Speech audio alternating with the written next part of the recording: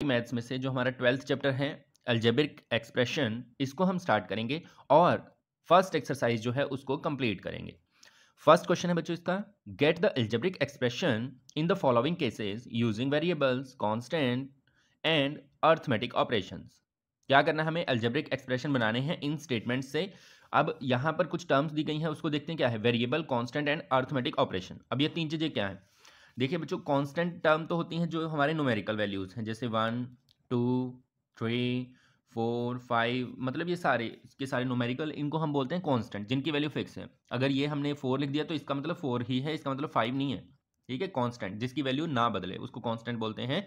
Variable होता है जिसकी जगह पे कुछ भी आ सकता है, जैसे एक्स ले लिया वाई ले लिया तो एक्स की वैल्यू किसी एक्सप्रेशन में तो फाइव आ जाएगी, किसी में सिक्स आ जाएगी, किसी में टेन आ जाएगी तो कोई फिक्स नहीं है। ठीक है? इस तरह से ऐसे ही वाई की वैल्यू भी कुछ भी आ सकती है। तो इनको ए बी सी वाले जो भी आपके नंबर वर्ड्स हम लिखेंगे, उनको हम बोलते हैं वेरिएबल्स जिनकी वैल्यू चेंज होती रहती है वेरी करती रहती है। अर्थमेटिक ऑपरेशन होते हैं हमारे चार plus minus multiply and divide ठीक है, ये अर्थमेटिक ऑपरेशन हो गए। तो मतलब इन तीनों का यूज़ करके हमें एल्जेब्रिक एक्सप्रेशन बनाने हैं। तो फ़र्स्ट है बच्चों हमारा जब भी मैं आपको बच्चों इनका मतलब बताऊँगा ना, इन लाइंस का तो आपने हर एक वर्ड का मतलब जो है ध्यान से समझना है। अगर आप स्टेटमेंट को समझ पाते हैं तो क्वेश्चन करना कोई ज़्यादा मुश्किल नहीं है। जैसे फ़र्स्ट है सब्ट्रैक्शन सब्ट्रैक्शन का मीनिंग है minus of z from y subtract वाले क्वेश्चन में हमेशा फ्रॉम आता है।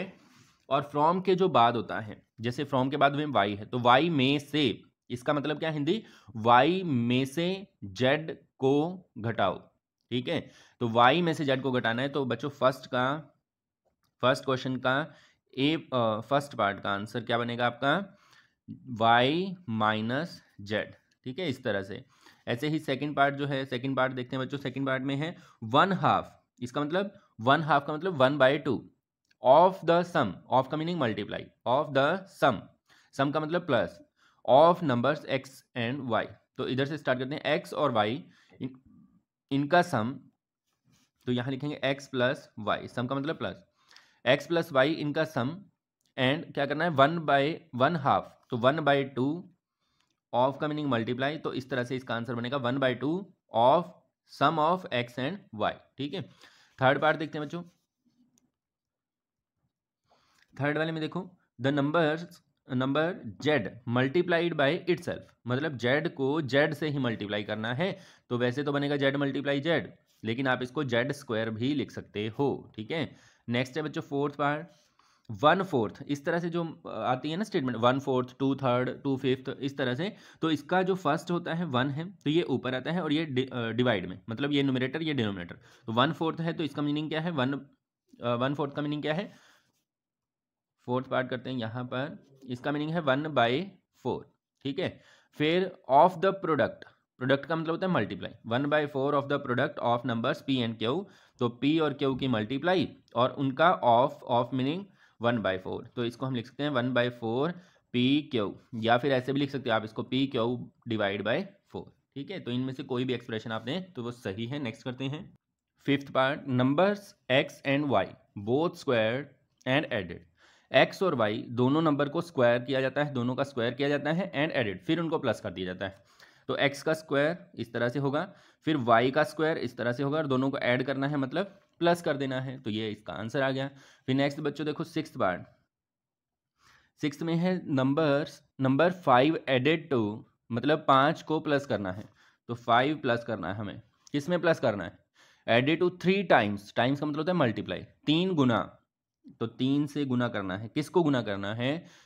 Three times the product of m and n किसकी प्रोडक्ट एम और एन की प्रोडक्ट अब इसको सिंप्लीफाई कर देते हैं थोड़ा सा। थ्री की इन तीनों के साथ मल्टीप्लाई है तो थ्री एम एन हो जाएगा प्लस फाइव हो जाएगा। ठीक है? है ना सिंपल इसी तरह से नेक्स्ट बच्चों आपका पार्ट है सेवेंथ पार्ट सेवेंथ पार्ट में देखिए बच्चों product of numbers y and z subtracted from from के बाद क्या है टेन तो टेन में से इन दोनों के प्रोडक्ट को माइनस करना है तो वाई जेड को माइनस कर देंगे, ठीक है, इस तरह से। नेक्स्ट बच्चों देखें एट्थ पार्ट एट्थ वाले में है sum of numbers a and b subtracted from their product क्या मतलब है इसका? Sum of numbers a and b a और ए प्लस बी हो जाएगा। सब्ट्रैक्टेड फ्रॉम देयर प्रोडक्ट इनकी, इन्हीं की गुना a b a multiply b इसमें से सब्ट्रैक्ट करना है। क्या सब्ट्रैक्ट करना है? इनका सम ए प्लस बी ठीक है? तो इतना लिख दीजिए, या फिर ब्रैकेट हटाएँगे तो साइन चेंज हो जाते हैं तो ये आ जाएगा a b minus a minus b इस तरह से लिखो या इस तरह से लिखो, दोनों ही आंसर आपके सही हैं। नेक्स्ट करते हैं सेकेंड सेकेंड में देखो बच्चों identify the terms and their factors in the following expression नीचे जो भी एक्सप्रेशन हमें दिए गए हैं, उसमें हमें टर्म्स को और फैक्टर्स को पहचानना है। टर्म्स क्या होती हैं? जैसे एग्ज़ाम्पल के लिए ये हमारे पास, ये लेते हैं हम वाई माइनस वाई क्यूब। अब इसमें टर्म क्या होती है बच्चों? यहाँ से आपने इस तरफ़ से स्टार्ट करना है चलना। जहाँ पे प्लस या माइनस आ जाए, वहीं पे स्टेटमेंट अलग हो जाती है। मान लीजिए यहाँ से हम चल रहे हैं तो वाई यहाँ पे आ गया माइनस तो ये अलग है। ये जो एक सिंगल स्टेटमेंट है, इसको हम टर्म कहते हैं। क्या कहते हैं? टर्म। एक टर्म तो है इसमें वाई और एक टर्म है नेक्स्ट। आगे कोई प्लस माइनस नहीं है तो यहाँ खत्म है। दूसरी टर्म है माइनस वाई क्यूब। ठीक है? दो टर्म है इसमें। इसको बोलते हैं टर्म्स। फैक्टर होते हैं इनके आगे। अगर ये आगे डिवाइड होते हैं, इसका कोई फैक्टर नहीं बनेगा, इसके बनेंगे। क्या बनेंगे? इसके फैक्टर क्या बनेंगे? माइनस वन और वाई वाई वाई क्योंकि तीन वाई को मल्टीप्लाई किया गया है माइनस वन के साथ, ठीक है? तो ये टर्म्स और फैक्टर हमें आइडेंटिफाई करने हैं। लेकिन कैसे करने हैं? सिंपल नहीं। Show the terms and factors by tree diagram tree diagram से हमें इनको रिप्रेजेंट करना है। ट्री डायग्राम में कुछ चीज़ें आपने याद रखनी है बच्चों? साथ के साथ मैं करवाऊँगा। सबसे पहले, सबसे ऊपर होता है एक्सप्रेशन एक्सप्रेशन मीनिंग जो हमें गिवन स्टेटमेंट है। फिर आपने डार्क लाइन से दोनों टर्म्स को अलग अलग लिखना होता है डार्क लाइन से। ठीक है? इधर से फ़र्स्ट टर्म क्या आ जाएगी? एक्स सेकेंड टर्म हो जाएगी माइनस थ्री ठीक है? आगे इनके कोई फैक्टर नहीं बनेंगे तो ये ऐसे के ऐसे ही रहेगा। ठीक है? अब बी पार्ट करते हैं। इसका ये ए पार्ट था बी पार्ट करते हैं। बी वाले में है, देखो बच्चों वन प्लस एक्स तो एक्सप्रेशन लिखेंगे सबसे पहले। One plus x plus x square अब आपको क्या करना है, इनके तीन टर्म्स है इसमें। तो तीन डार्क लाइन आपने लेनी है। ठीक है, इस तरह से। यहाँ पे फ़र्स्ट पे तो आ जाएगी फ़र्स्ट टर्म वन है सेकंड है एक्स प्लस लगाने की ज़रूरत नहीं होती, लेकिन माइनस हो तो लगाना है। और एक्स स्क्वायर है प्लस लगा भी दोगे तो कोई दिक्कत नहीं है, ठीक है? अब इसका कोई फैक्टर नहीं है, इसका कोई फैक्टर नहीं, लेकिन इसके फैक्टर है, क्योंकि दो एक्स को मल्टीप्लाई किया गया है तो यहाँ डॉटेड लाइन ली जाती है। फैक्टर्स को दिखाने के लिए डॉटेड लाइन एक्स और एक्स ठीक है? तो ये होता है एक्सप्रेशन यहाँ आती हैं टर्म्स और अगर फैक्टर हैं तो यहाँ आते हैं फैक्टर्स ठीक है? नेक्स्ट करते हैं। सी वाला पार्ट जो हमने एग्ज़ाम्पल लिया था तो इसका एक्सप्रेशन है बच्चों वाई माइनस वाई क्यू ठीक है? यही इसका एक्सप्रेशन है ना? तो अब हम क्या करेंगे? इसकी डार्क लाइन लेते हैं इस तरह से। तो ये फ़र्स्ट टर्म आ जाएगी वाई और सेकेंड आ जाएगी माइनस वाई क्यूब ठीक है? अब हम क्या करेंगे? अब हम अगर चाहें तो इसको जो है वैक्टराइज कर सकते हैं। तो वन टू थ्री इस तरह से डॉटेड आपने लाइंस जो हैं वो लेनी है। माइनस वन को चाहे तो अलग लिख दें, ठीक है? नहीं तो आप माइनस वाई लिख सकते हो, फिर वाई और फिर वाई ठीक है? तो ये इसके फैक्टर्स आ गए। लेकिन माइनस वन को अगर अलग लिखें तो ज़्यादा बेहतर रहेगा, ठीक है? माइनस वाई नहीं लिखना है आपने। लिख देंगे तो कोई दिक्कत नहीं है, लेकिन माइनस वन को अलग लिखोगे तो ज़्यादा बेटर रहेगा, ठीक है? नेक्स्ट करते हैं। ये हमारा हो गया एक्सप्रेशन यहाँ से हम टर्म्स को अलग करते हैं पहले। टर्म्स हो जाएँगी फाइव एक्स वाई स्क्वायर और plus seven x square y. अब यहाँ से फैक्टर्स देखो कितने बनेंगे। वन, टू और टू वाई हैं तो फोर हो जाएँगे टोटल। तो वन फ़र्स्ट आ जाएगा आपका फाइव, ठीक है? फिर सेकेंड फैक्टर हो जाएगा एक्स, फिर थर्ड फैक्टर हो जाएगा वाई और फोर्थ फैक्टर भी वाई, ठीक है? इस तरह से। फिर नेक्स्ट वाले में बच्चों देखो, फ़र्स्ट फैक्टर हो जाएगा इसका सेवन, सेकेंड फैक्टर कितना हो जाएगा? एक्स, थर्ड फैक्टर भी एक्स और फोर्थ फैक्टर वाई, इस तरह से, ठीक है? नेक्स्ट करते हैं। इसमें बच्चों देखो थ्री टर्म्स हैं हमारे पास तो फ़र्स्ट सेकेंड और थर्ड ठीक है? तो ये हो जाएगा माइनस ए बी फिर सेकेंड हो जाएगी टू बी स्क्वायर और थर्ड हो जाएगी माइनस थ्री ए स्क्वायर ठीक है? अब इसके फैक्टर क्या बनेंगे बच्चों? इसके बनेंगे माइनस वन क्योंकि काउंटिंग वाला कोई नंबर नहीं है, फिर ए और फिर बनेगा बी इसके फैक्टर्स क्या बनेंगे बच्चों? टू, फिर बी और फिर बी क्योंकि बी स्क्वायर है तो दो बार बी है। यहाँ पे क्या बनेंगे बच्चों?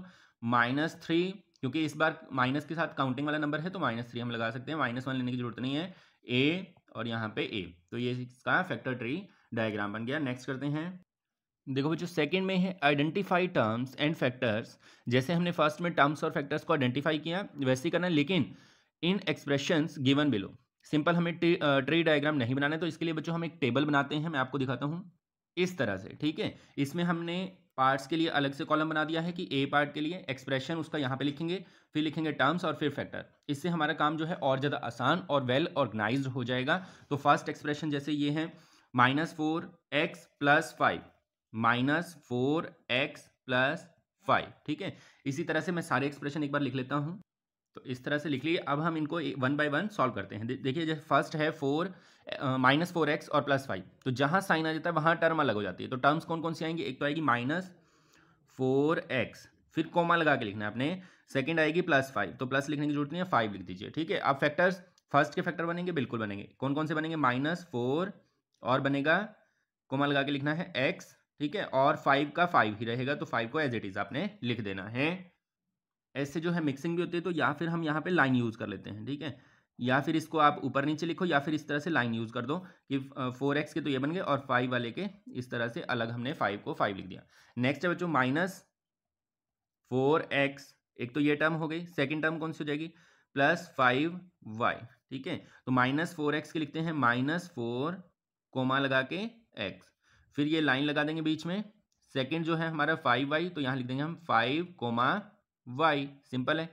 नेक्स्ट वाले में देखो फाइव वाई फिर यहाँ पे थ्री वाई स्क्वायर तो फाइव वाई के तो बन जाएँगे फाइव कोमा वाई और थ्री वाई स्क्वायर के बनेंगे three comma y comma y ठीक है? क्योंकि वाई स्क्वायर था। नेक्स्ट वाले में देखो, एक टर्म हो जाएगी एक्स वाई और सेकेंड टर्म हो जाएगी two x square y square ठीक है? तो फ़र्स्ट वाले के तो बन जाएँगे आपके एक्स कोमा वाई नेक्स्ट के क्या बनेंगे? टू बनेगा, फिर एक्स फिर एक्स और फिर वाई फिर वाई ये कॉलम आपने थोड़े बड़े रखने हैं, जिससे ये स्पेस अंदर ही पूरा हो जाए। नेक्स्ट है पी क्यू पी क्यू बन जाएगी फ़र्स्ट टर्म सेकंड बन जाएगी क्यू तो पी क्यू के फैक्टर आएँगे पी कोमा क्यू और क्यू के फैक्टर क्यू रहेगा।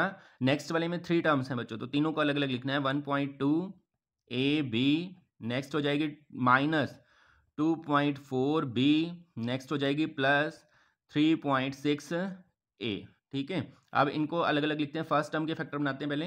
तो ये बन जाएँगे बच्चों आपके one point two comma a comma b next वाले के बच्चों बन जाएँगे minus two point four comma b next वाले के बन जाएँगे आपके plus three point six comma a ठीक है? इस तरह से।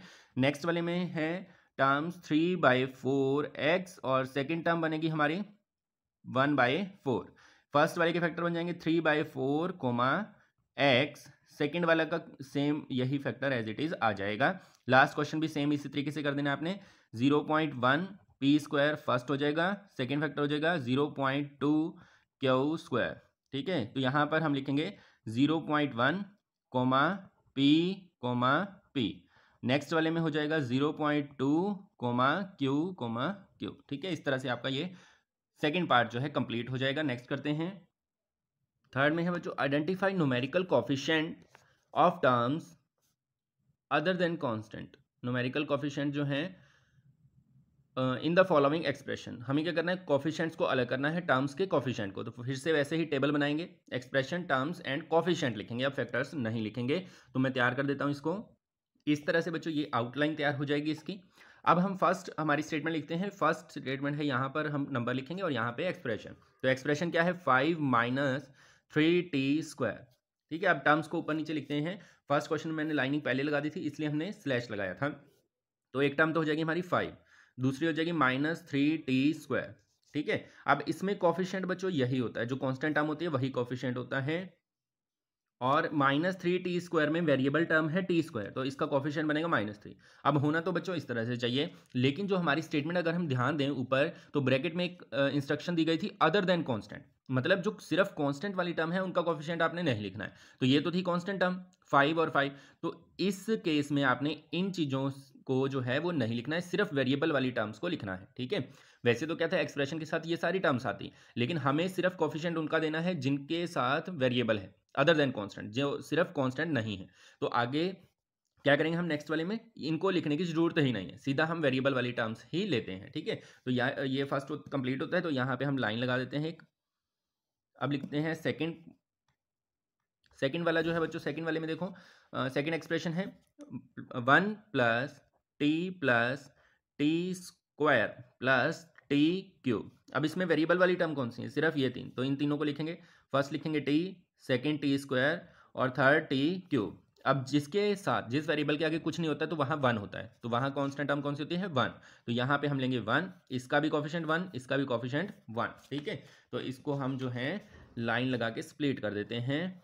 फिर नेक्स्ट बच्चों आ जाएगा थर्ड पार्ट ठीक है? थर्ड वाले में देखो।